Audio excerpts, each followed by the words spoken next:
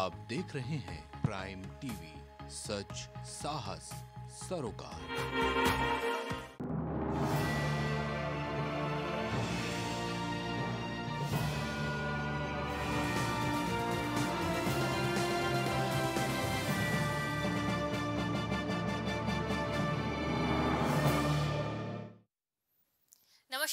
TV में आपका स्वागत है। मैं हूँ आपके साथ शिखा मेहरोत्रा। शुरुआत करते हैं प्राइम उत्तर प्रदेश की। राजधानी लखनऊ के इंदिरा गांधी प्रतिष्ठान में 3 जून से शुरू होने वाली तीसरी ग्राउंड ब्रेकिंग सेरेमनी का आयोजन किया जा रहा है।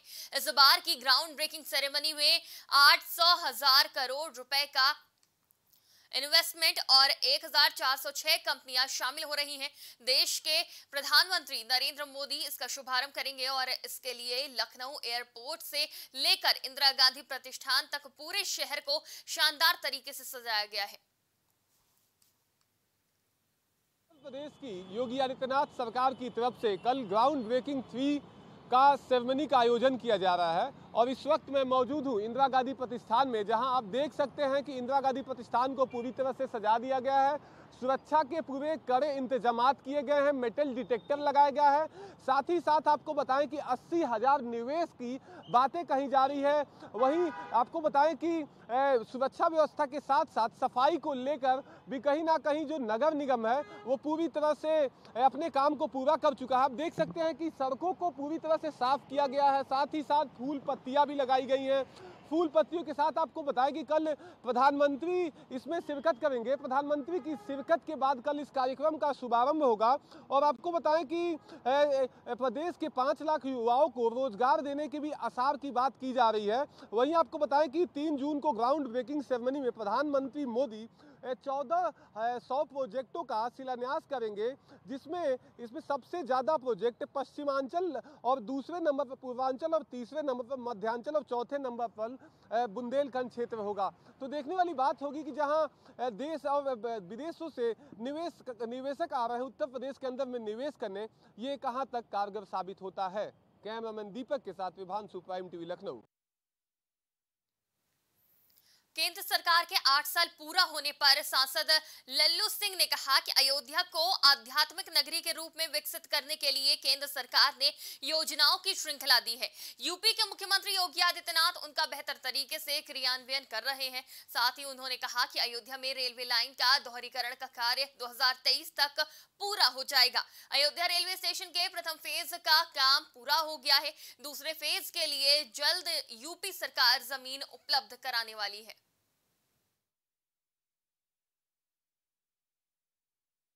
उस परिक्रमा के माध्यम से डेढ़ सौ, एक सौ इक्यावन ऐसे स्थल। जो प्रभु श्री राम के जीवन से जुड़े हैं और उस पर ऋषि मुनियों की तपोस्थली, जन्मस्थली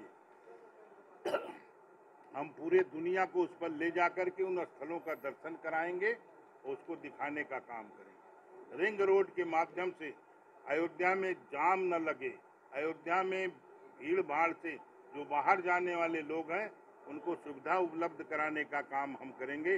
अयोध्या की सारी सड़कों का चौड़ी चौड़ीकरण स्थानीय लोगों से परामर्श करके, उनकी सुविधा के अनुसार और आने वाली श्रद्धालुओं की सुविधा को देखते हुए करने का काम सरकार कर रही है।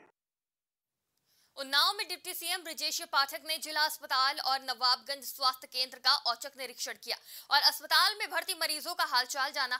इसके साथ ही डिप्टी सीएम ने वहाँ का रजिस्टर भी चेक किया और चिकित्सा संबंधी व्यवस्थाओं का हाल जाना। नवाबगंज सीएचसी में वाटर कूलर खराब होने पर सीएमओ को जमकर फटकार लगाई। इसके अलावा जिला अस्पताल के निरीक्षण में डिप्टी सीएम की जाँच में कमियाँ मिलने पर जाँच रिपोर्ट तलब की है।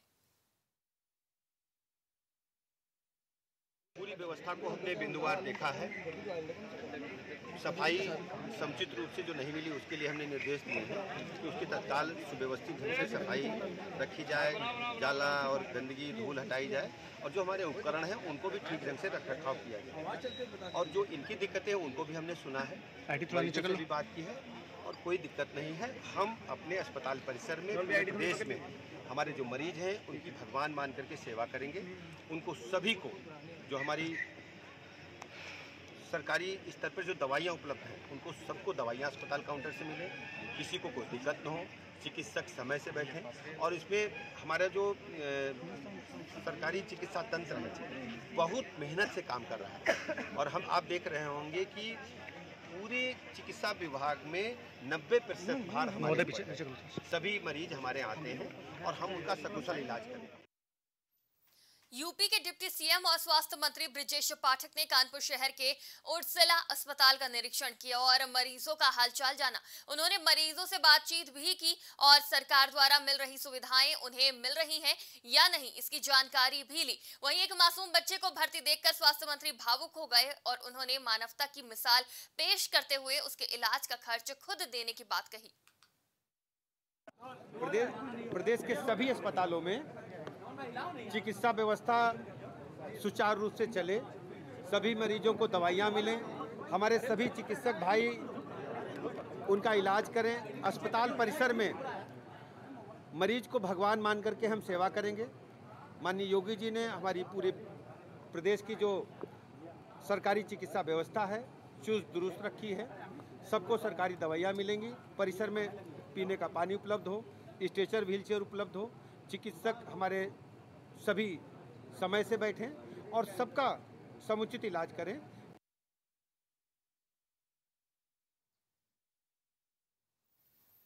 चंदौली में केंद्रीय मंत्री डॉक्टर महेंद्र नाथ पांडे ने एक बयान देते हुए कहा कि सीएम योगी की अगुवाई में तीसरी इन्वेस्टर समिट का आयोजन हो रहा है। ईज ऑफ़ डूइंग बिज़नेस में भारत में यूपी का दूसरा स्थान आने के बाद प्रदेश में इन्वेस्ट बढ़ा है और रामपुर, आजमगढ़ लोकसभा उपचुनाव को लेकर केंद्रीय मंत्री ने दावा किया है कि उपचुनाव में पार्टी शानदार चुनाव लड़ेगी और जीतेगी। वहीं कांग्रेस पर निशाना साधते हुए उन्होंने कहा कि कांग्रेस निराश है, कांग्रेस जड़ों से कटी पार्टी है। आठ साल में उपलब्धियों का बड़ी श्रृंखला है। लेकिन एक बात में कहा जाए, मोदी सरकार, सेवा करने वाली सरकार, गरीबों की भलाई करने वाली सरकार, सुशासन देने वाली सरकार, ईमानदार, पारदर्शी सरकार और जनता की उम्मीदों पर खड़ी उतरने वाली सरकार के रूप में लगातार दो वर्ष, दो कार्यकाल में आठ वर्ष पूरे कर रही है। और आगे भी तीव्र गति से जन आशीर्वाद से काम करते हुए और सुदीर्घ काल तक इस देश की सेवा करेगी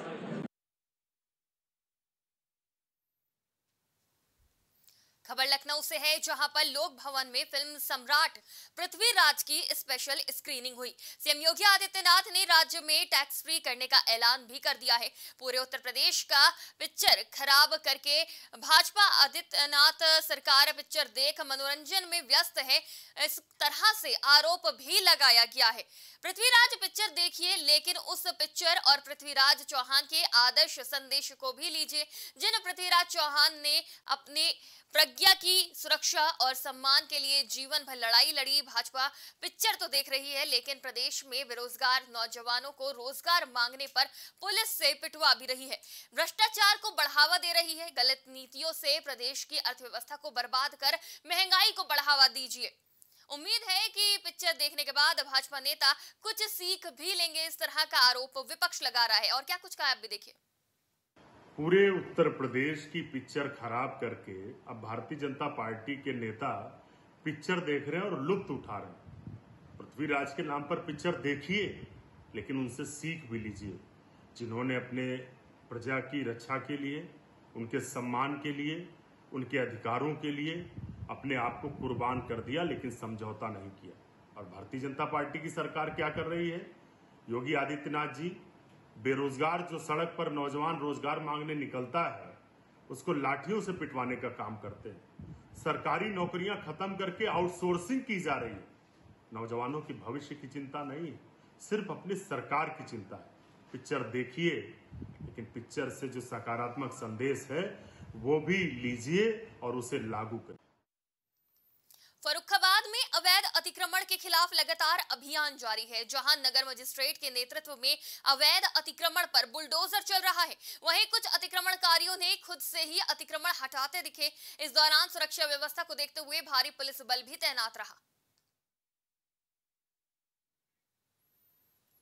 रायबरेली से एक बड़ा मामला सामने आया है, जहाँ सेना के जवान ने संविदा कर्मी पर फर्जी नवीनीकरण करने का आरोप लगाया है और बताया कि संविदा कर्मी एनआईसी में नेटवर्क इंजीनियर के पद पर कई वर्षों से तैनात है और जम्मू कश्मीर में बने असलहे के लाइसेंस के नवीनीकरण का ठेका लिया था। जिसके बाद लाइसेंस बुक पर फर्जी यूआईडी नंबर डालकर फर्जीवाड़ा किया। फ़िलहाल सिटी मजिस्ट्रेट ने जाँच कर कार्रवाई करने की बात कही है। जो लाइसेंस तो सर, सबसे पहले मैं ये बताना चाहता हूँ कि लाइसेंस तो जनपद रायबरेली में कोई भी ऐसे बन ही नहीं रहे हैं। उसने जो आरोप लगाया है, वो यू नंबर गलत होने के संबंध में लगाया गया है। तो मैंने जब उसको चेक किया तो उसका वो जो यूआईएन नंबर था, वो एकदम सही है। वो जो मेरे ऊपर गलत आरोप लगा रहा है या किसी तथाकथित के द्वारा मेरे ऊपर आरोप लगाया जा रहा है। क्योंकि मैं काम अगर कर रहा हूँ तो मेरे ऊपर छीटें तो आएँगी आएँगी। और इसीलिए मेरे ऊपर ये बारंबार आरोप लग रहा है। जी, एक सुशील सिंह नाम के सैनिक हैं, जिन्होंने ये कहा था कि उनका जो लाइसेंस है, वो रायबरेली में उसका जो कि खबरों में आ रहा था कि यूआईएन फर्जी जनरेट हो गया है, इस आशय की की सूचनाएँ प्राप्त हो रही थी, लेकिन जब इसको देखा गया और मैंने स्वयं सुशील सिंह जी से बात की तो उन्होंने ये बताया कि उनकी आईडी ऑलरेडी वहाँ से जनरेटेड है जम्मू कश्मीर से और उनका मुख्य मांग थी कि उनको उनको अपना लाइसेंस यहाँ दर्ज कराना था। तो चूँकि वो अभी वर्तमान में वो जम्मू कश्मीर में कार्यरत हैं, इसलिए जब वो वहाँ से सेवा से रिटायर हो जाएँगे, उसके बाद ही रायबरेली में उनका लाइसेंस दर्ज हो पाएगा। खबर एटा से है, जहाँ थाना पिलुआ पुलिस, सर्विलांस टीम और इंटेलिजेंस विंग की संयुक्त कार्रवाई और मुठभेड़ हुई। जिसके बाद लूट की योजना बनाते हुए ट्रांसफार्मर, विद्युत लाइन चोरी करने वाले गिरोहों का भंडाफोड़ हुआ है। इस मुठभेड़ के बाद छह शातिर बदमाशों को पकड़ने में सफलता मिली है। वहीं इनके दो साथी फरार बताए जा रहे हैं। इन सभी बदमाशों को सुन्ना नहर के पास बने सिंचाई विभाग के गेस्ट हाउस की दीवार के पास से लूट की योजना बनाते समय गिरफ़्तार किया गया है। बदमाशों के पास से पाँच अवैध तमंचे, लूटे हुए मोबाइल, फ़ोन और ट्रांसफार्मर के तार बरामद किए गए हैं। पिलुआ क्षेत्र अंतर्गत पुलिस मुठभेड़ के दौरान छह साथी अभियुक्तों को गिरफ़्तार किया गया है, जिनके कब्जे से पाँच अवैध असलहे तथा कारतूस बरामद हुए हैं। इनके द्वारा ट्रांसफार्मर चोरी व तार चोरी के अपराध मुख्यतः कारित किए जाते हैं। शाहजहांपुर में एक भीषण सड़क हादसा हुआ है जहाँ तेज रफ्तार कार अनियंत्रित होकर पलट गई और इस हादसे में एक युवक की मौके पर ही दर्दनाक मौत हो गई जबकि सात लोग गंभीर रूप से घायल हो गए हैं। फ़िलहाल सभी घायलों का अस्पताल में इलाज चल रहा है। थाना क्षेत्र से सात लोग आए थे एक ही हो गए एक ही परिवार के लोग थे। इसमें दो लोग सीरियस थे। हायर सेंटर रेफर कर दिए गए बेस्ट ट्रीटमेंट के लिए। बाकी पाँच लोगों का जो है ट्रीटमेंट यहाँ चल रहा था और ये लोग औरैया में एक युवक का शव खेतों पर आम के पेड़ से लटकता मिला है। ग्रामीणों ने घटना की जानकारी परिजनों को दी। युवक की मौत से परिवार वालों में कोहरा मच गया। मौके पर पहुँची पुलिस ने शव को कब्जे में लेकर पोस्टमार्टम के लिए भेज दिया है। युवक लोडर चलाकर अपने परिवार का भरण पोषण करता था। कोतवाल सुजीत वर्मा ने बताया कि पोस्टमार्टम रिपोर्ट आने के बाद मौत का कारण सामने आ जाएगा। खबर गाजियाबाद से है, जहाँ पर लोनी बॉर्डर इलाके के नाले में अधेड़ युवक का शव पड़ा मिला है। दरअसल युवक ड्यूटी पर गया था, जिसके बाद से वो घर नहीं पहुँच पाया। परिवार वालों ने नाले के ऊपर ही शव तैरता हुआ देखा और मृतक को पड़ा देख परिजनों ने थाना लोनी बॉर्डर पुलिस को इसकी सूचना दी। मौके पर पहुँची पुलिस ने शव को पोस्टमार्टम के लिए भेजा है।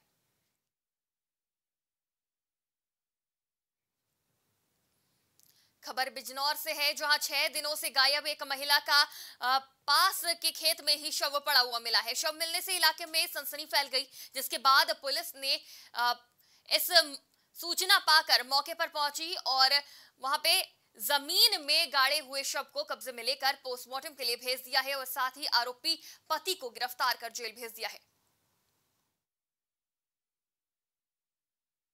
क्यों मारा अपनी पत्नी को? उनने मेरे बाल खींच लिए थे आगे मैंने उसका गले बात एकदम हो गया ऐसे दो पत्नियाँ तुम्हारे? जी।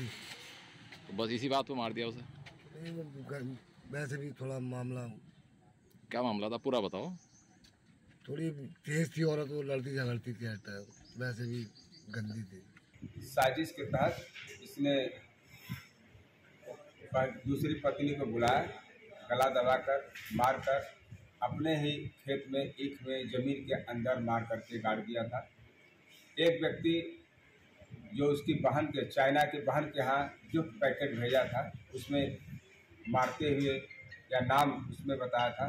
पुलिस ने उसी के आधार पर तलाश किया, अभियुक्तों की। अभियुक्त पकड़ा गया जुर्म को कबूल किया। नसीम, उसका चचेरा भाई और उसकी पत्नी, तीनों ने मिलकर के मारा। अभियुक्त नसीम गिरफ़्तार है। ये जा, जा रहा है। शेष लोग की गिरफ्तारी शेष है।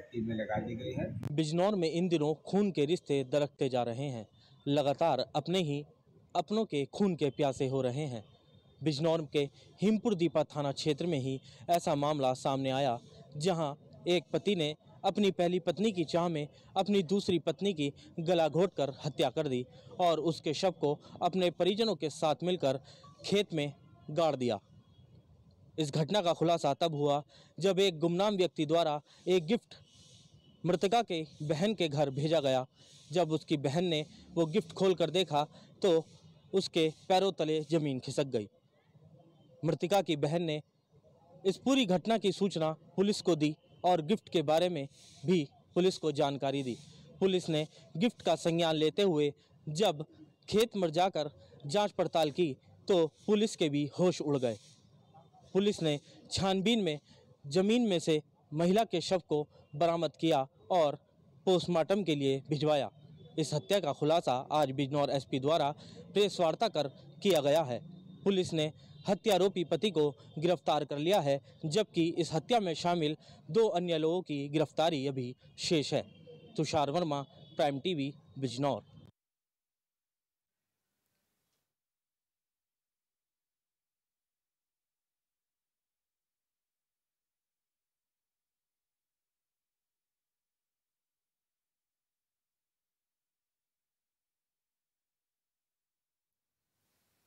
अलीगढ़ में योग शिविर के दूसरे दिन बंदियों और अधिकारियों को मिलकर योग कराया गया। इस दौरान शिविर में एक शांत और सुखद अनुभूति देने वाला वातावरण था।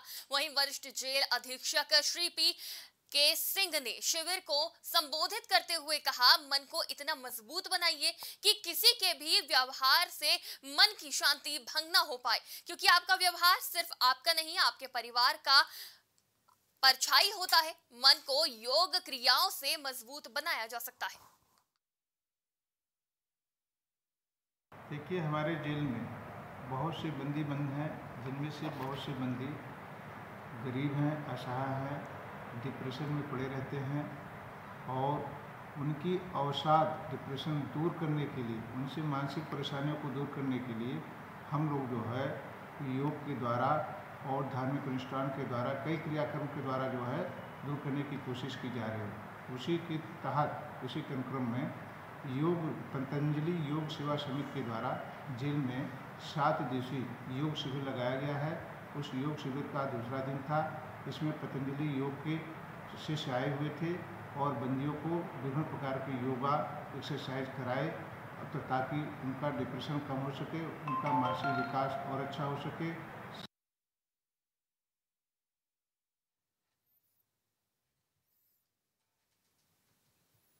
प्राइम उत्तर प्रदेश में फ़िलहाल इतना ही। देश दुनिया की तमाम खबरों के लिए देखते रहिए प्राइम टीवी।